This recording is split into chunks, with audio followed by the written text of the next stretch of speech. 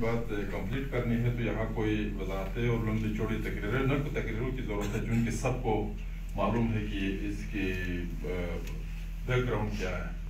اس میں ایک سوال پوچھا گیا ہے جناب علی کہ گندم سبسڈی پہ جو نرخ حکومت نے مقرر کی ہے اس کو مانا جائے یا نہ مانا جائے؟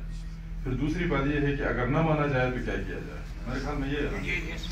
تو اس میں یہ ہے جناب علی کہ لمبی بات کر کے یہ بات ثابت کرنے کی ضرورت نہیں ہے۔ مختصر کہنے کی ضرورت ہے کہ گندم کے ایک روپیہ بھی منظور نہ کیا جائے۔ اس کی وجہ یہ نہیں ہے کہ کوئی گلگت میں کوئی قیمتیں بڑھائی گئی ہے۔ قیمتیں بڑھائی گئی ہے اس لیے ہم اس کو جو ہے نفی نہیں کرتے ہیں۔ اب بھی یا تو جنت میں یہ گندم سات سو کی مل سکتی ہے یا پھر گلگت میں مل سکتی ہے۔ میں قیمتوں میں نہیں جاتا۔ میں حقیقت میں اس میں جاتا ہوں کہ ایک بہت بڑا رئیس آدمی جو ہے، اس کے گھر پر بھی قبضہ کر کے، اس کی زمینوں پر بھی قبضہ کر کے، اس کے پلازوں پر بھی قبضہ کر کے، ساری چیزیں کر کے اس کو کھانا دینے کا وعدہ کیا گیا ہے اور وہ بھی روک دے، تو پھر میرے پلازے واپس کرے زمینیں اور میری جائیداد واپس مجھے آپ سے کوئی روٹی نہیں چاہیے۔ میں لانت بھیجتا ہوں، خود پر تمہاری روٹی کھا مجھے کوئی ضرورت نہیں، میں بھوکا رہوں گا اپنی زمینوں پر، اپنی جائیداد پر، اپنے معاملات پر۔ تم میری جائیداد واپس کرے نہیں اگر جائیداد پر آپ نے زبردستی قبضہ رکھا ہے، پھر روٹی دینے کا وعدہ کیا ہے تو ان غریب لوگوں کو روٹی دے دو، ورنہ تمہاری روٹی بند ہو جائے گی۔ اس لیے ایک روپیہ بھی بڑھانے کا میں حامی نہیں اور دوسری بات یہ ہے کہ کس طرح کیا جائے؟ کس طرح کرنے میں یہ ہے جناب علی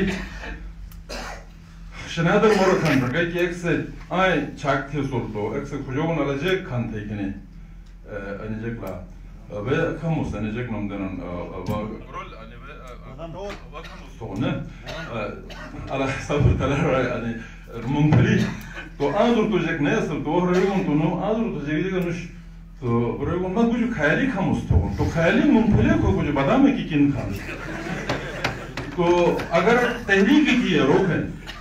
اگر کو متفق ہے معاملہ کو مجھے ٹھیک ہے، اگر صحیح جائے نا، تو اے صورت میں مجھے گون گنجے کھانا آئین کو نکتہ نمبر چھے ہاں انو مزید بہتر تھے جیک ذرے ریلے صاحب سے گرہی ہوگو کہ گلگت بلتستان حیثیت کے ہن، ایسے کا حیثیت حقیقت در ہے۔